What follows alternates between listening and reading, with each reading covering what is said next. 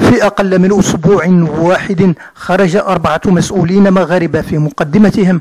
رئيس الحكومة سعد الدين العثماني للحديث إلى المغاربة عن ما بعد 20 مايو الجاري التاريخ المحدد لنهاية الفترة الثانية من الحظر الصحي. خرجات المسؤولين الحكوميين وهم إلى جانب العثماني كل من وزير الصحة خالد أيت الطالب في لقاء تلفزي ووزير المالية محمد بن شعبون في حوار صحفي والناطق الرسمي باسم الحكومة سعيد أمزازي في تدوينة على صفحته الرسمية. كانت الخارجات كلها تصب في اتجاه إعداد المغاربة لتقبل الأسواء وتهيئهم لإمكانية تمديد الحجر الصحي من جديد.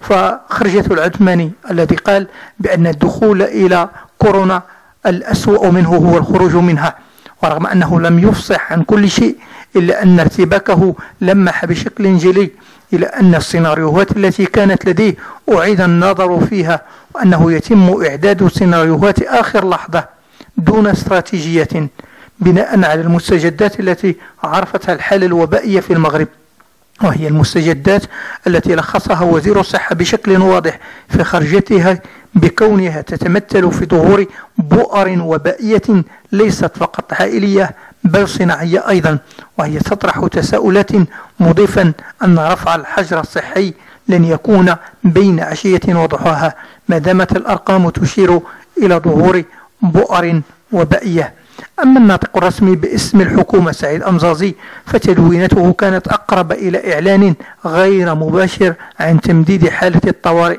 إلى ما بعد 20 ماي 2020 لكون تدوين حملت أكثر من إشارة على ذلك فأمزازي الذي يعتبر ناطقا رسميا باسم الحكومة وكل ما يصدر عنه يلزمها بدأ تدوينته بالتأسف عن الوضع عن الوضع مما يحيل إلى أن هناك تصور كان لما بعد 20 ماي وتم التراجع عنه ولما حاب بجلاء إلى استمرار الحجر الصحي عندما قال لسنا بعد في مأمن من هذا الوباء.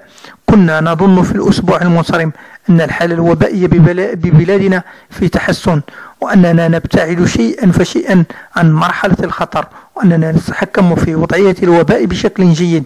ولكن يجب على كل المغاربة أن يستوعبوا أن المعركة لم تنتهي بعد.